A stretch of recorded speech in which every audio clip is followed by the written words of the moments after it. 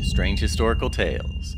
Today we're diving into a baffling mystery from 12th century England. In the small village of Woolpit in Suffolk, two children with startling green skin suddenly appeared, wearing strange clothing and speaking a language unknown to the local villagers. The children claimed to come from another world entirely.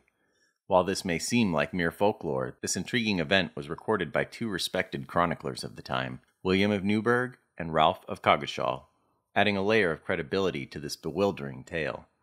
Were these children a phenomenon beyond explanation, or is there a truth hidden beneath the legend? Let's uncover the secrets of the Green Children of Woolpit.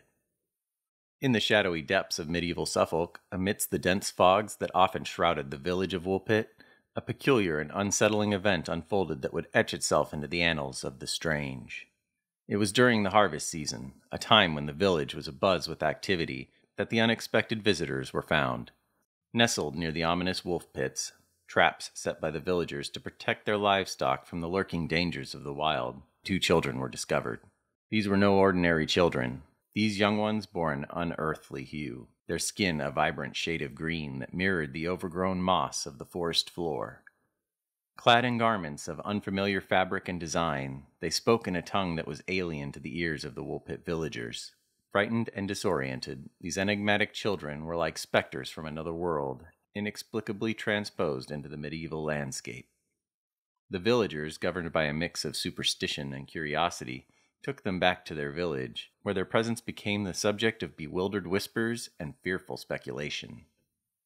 Unable to communicate and deeply unfamiliar with their surroundings, the children initially refused all food offered to them, amplifying the villagers' intrigue and concern. It wasn't until they were presented with raw broad beans that they showed any willingness to eat. These beans became their sole sustenance, the only familiarity in a strange new world. As weeks turned into months, a remarkable transformation began to unfold. Gradually, as they adapted to a more conventional diet, the children's skin lost its green hue, revealing a more natural tone underneath. This change sparked a myriad of speculations among the Woolpit villagers. Was their initial green color a sign of illness, or perhaps malnutrition? Or was it something more mystical, a marker of their otherworldly origins? The adaptation of their skin color brought its own sorrows. The boy, who had always been the more fragile of the two, struggled with the transition. Despite the care and attention he received from the villagers, he remained sickly, and his health continued to decline.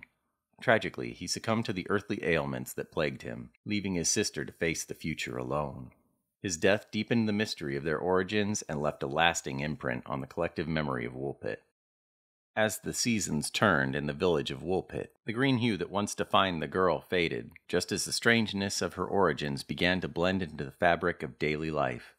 With the boy's untimely demise casting a shadow over her existence, she found herself alone in a world that was both a sanctuary and a cage. Under the care of kindly villagers, she slowly learned to speak the language of her new home, each word a bridge built between her mysterious past and her uncertain future. As her tongue untangled the foreign sounds of English, her story began to unfold, a narrative as curious as the twilight realm she spoke of, a place she called St. Martin's Land, where the light of the sun never breached the eternal green gloom. The more she spoke, the more her otherness seemed to diminish. Yet in her words, a faint trace of another world lingered, compelling her listeners to wonder if her tales were mere figments of a child's imagination or whispers of a hidden truth. She described a land where all was green the trees, the ground, even the sky, a mirror of her own eerie visage. As she grew older, her integration into the village marked a transformation. She was baptized, shedding her mysterious origins as she embraced the rites of her new community. Named Agnes, she eventually wove herself into the very social fabric of Woolpit, her marriage to a royal official a testament to her complete assimilation. Yet some say her eyes retained a hint of green, a vestige of her enigmatic past not even time could fully erase. Agnes lived out her days in the village, her early years of verdant mystery giving way to the mundane ebb and flow of rural life. But the people of Woolpit never quite forgot the enigma of her arrival to them, she remained a living bridge to the unknown, a gentle reminder that their world was but a small patch in the vast tapestry of existence. As the tale of the Green Children of Woolpit has been passed down through generations, so too have the theories that attempted to unravel the mystery of their origin. These theories range from the fantastical to the historical, each offering a different lens through which to view this perplexing story. Extraterrestrial theory. One of the more sensational explanations posits that the children may have been extraterrestrials from another planet. Proponents of this theory point to their green skin and unfamiliar language as indicators of a non earthly origin. This idea taps into broader themes of alien visitation, suggesting that the children could be early documented instances of contact with another world. Subterranean beings. Another intriguing theory suggests that the children might have come from a subterranean world, a concept found in various mythologies around the globe. According to this view, the children accidentally found their way to the surface, emerging from one of the many caverns that pepper the Suffolk landscape, explaining their disorientation and unfamiliarity with the sunlit world. Flemish orphans. A more grounded hypothesis argues that the children were actually Flemish orphans, perhaps lost during the tumultuous social and political upheavals of the medieval period. Their green skin could have been the result of malnutrition, specifically chlorosis a condition known to turn the skin greenish due to anemia. Their strange language might simply have been Flemish, unintelligible to the local Saxons. Each of these theories reflects the enduring fascination with the green children and the human desire to find meaning in the mysterious.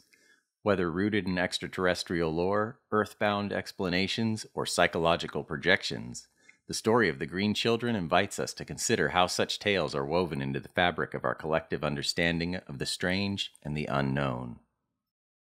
As we reach the end of our journey into the enigmatic tale of the Green Children of Woolpit, we are reminded of the power of mystery and myth to ignite our imaginations and challenge our understanding of the world. Whether visitors from a distant world, lost children of history, or symbols of change in a medieval society, their story continues to captivate and inspire debate across the centuries. What do you think about the origins of the Green Children? Are they remnants of a forgotten past, or could there be a grain of truth to the more fantastical explanations? Share your thoughts and theories in the comments below. If you enjoyed this dive into one of history's most intriguing mysteries, don't forget to like, comment, and subscribe to Strange Historical Tales. Hit the notification bell to never miss out on our weekly explorations into the unknown and the unexplained. Join us next time as we unravel another chapter of the strange and the historical.